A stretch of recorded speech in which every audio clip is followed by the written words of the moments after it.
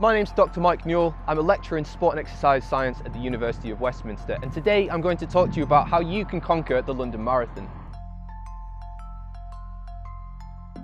Over 40,000 runners completed the 2018 edition of the London Marathon, increasing the previous year's record by 768 runners.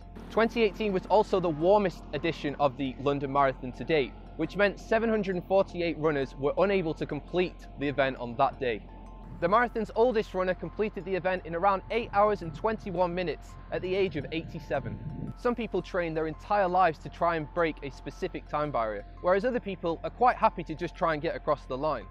The marathon remains one of the toughest endurance events that you could undertake. So what does it take to complete the London Marathon? Typically, if you're going from no running to 26.2 miles, then getting in a year of consistent running is going to be the way forward. From here, you can then make 5 kilometre, 10 kilometre and half marathon events the intermittent goals leading towards the marathon. You can then start to work towards 15 miles and 20 mile runs, which will then set you in good stead over the next 5 to 6 months leading into a marathon. At the end of the day, the longer that you have to prepare for the marathon, the better position that you'll be in on the day. Being realistic about your own ambitions and expectations and the amount of time that you have to dedicate towards the marathon is a good place to start.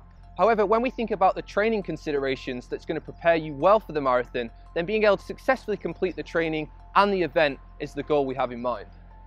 This means avoiding injury by not ramping up your mileage too quickly, managing your training volume to avoid burnout and running fatigue, increasing your training load in a manageable and controlled fashion, and being in a position to complete the marathon in a relatively comfortable way.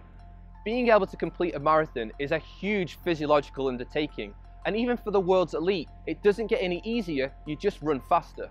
In 2018, the average finishing time for males and females was about four hours. That means if you weigh about 75 kilos, that's going to be around 3,000 kilocalories that you're going to expend during those four hours. So what does that mean? Well, you'll be expending your total daily recommended intake of calories just over the course of the event.